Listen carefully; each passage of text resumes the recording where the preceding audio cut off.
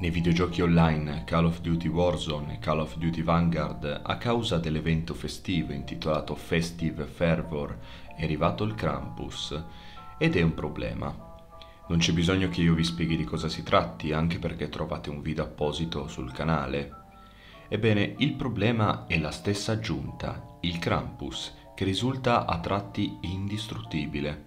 Con un singolo colpo infatti di sconfiggere ogni giocatore e quando questo non accade inizia a tormentarlo, rendendo le partite ingiocabili.